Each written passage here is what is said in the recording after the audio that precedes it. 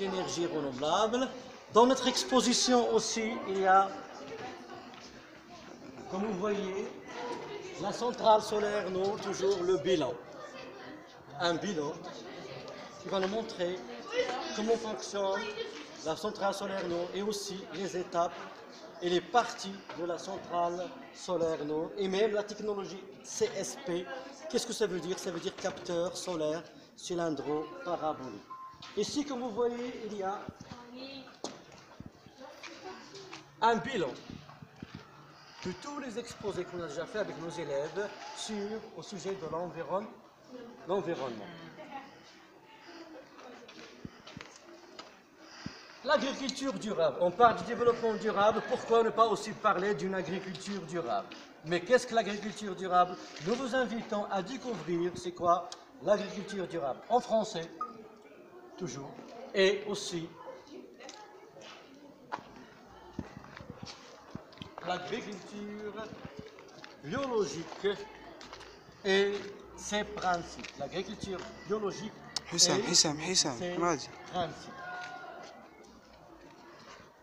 Après, on sait maintenant on enseigne les mathématiques en français. C'est pour cela qu'on a préparé un dictionnaire français-arabe en mathématiques. Voilà le dictionnaire. Il va être collé pour toujours sur ce mur, si Dieu le veut. Aussi, il y avait des- le français au service des sciences. Des termes scientifiques en français et en arabe.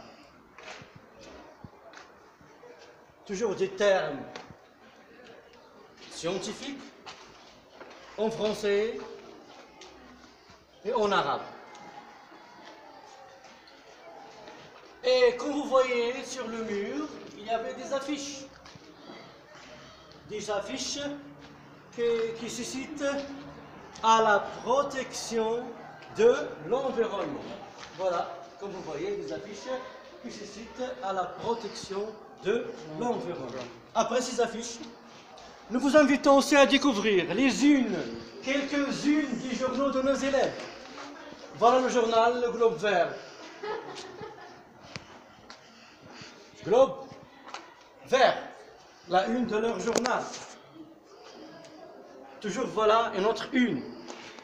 SOS Environnement, le journal SOS Environnement et le journal Espoir, petit écolo. Petit écolo de Abdelkrim Al-Khattabi.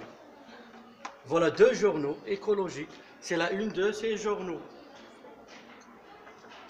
Il y avait un sujet en haut, c'est le déboisement et la forêt.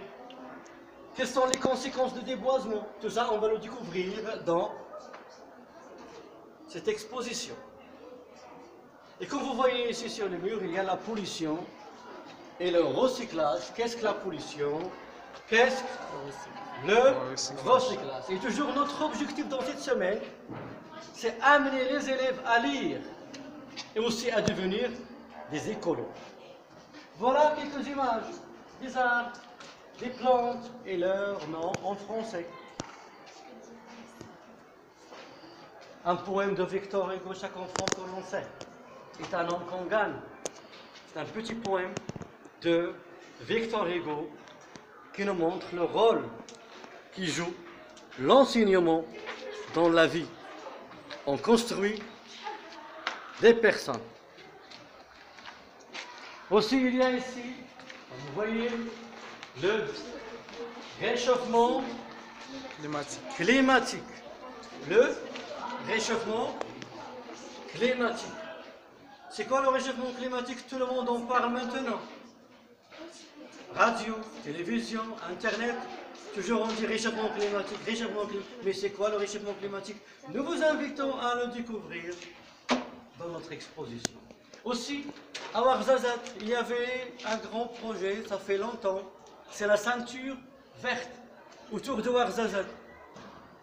Un intime, par exemple, oui ou non? Oui. Mais ce projet, jusqu'à présent, il n'a pas vu le jour, oui ou non? Alors il faut connaître, savoir quelque chose sur ce projet. Voilà. Comme vous voyez maintenant. Bam L'image. Ici, s'il vous plaît. Bam Ça veut dire notre exposition est riche. L'objectif, c'est que les élèves, lorsqu'ils vont entrer ou bien sortir au collège, à chaque fois, ils vont apprendre quelque chose. PAM, c'est quoi PAM Ce sont les plantes aromatiques médicinales. Voilà, les plantes, leur nom en français. Exemple, les arbres, leur nom en français. Voilà un lexique de l'environnement. Les termes, c'est quoi la faune, la flore, l'espace naturel, tout ce qui est en relation toujours avec l'environnement. Et toujours, on apprend français et arabe. C'est quoi les forêts humides? Même en français, définition, et en arabe. Les forêts tropicales, en français et en arabe. Et avant de sortir, avant de finir, il y aurait un bilan toujours qui parle de l'environnement. Tout ça, on va le découvrir dans notre exposition. Après, le jeune inventeur. Pour le jeune inventeur, on va présenter leur invention. Il y a l'invention d'élève, de l'élève Adnan Jamal. Il s'agit de quoi? Il s'agit d'une voiture qui fonctionne avec l'énergie cinétique et l'énergie solaire. Voilà l'affiche de ce projet. Vous pouvez prendre des photos pour l'affiche, des projets et tout ce qui est là-bas. Voilà notre projet, toujours de l'élève Adnan. C'est une voiture solaire qui fonctionne avec l'énergie solaire. Et on a fait ces affiches en français. On a fait ces affiches en français et aussi en arabe, derrière. Dans ce chevalier, il y avait une présentation en arabe pour ces projets.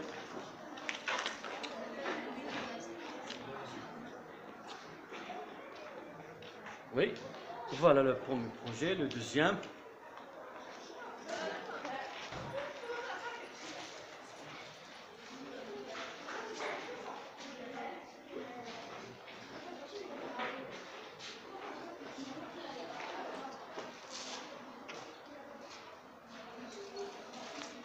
Et toujours, nous vous invitons à découvrir notre exposition et soyez le bienvenu.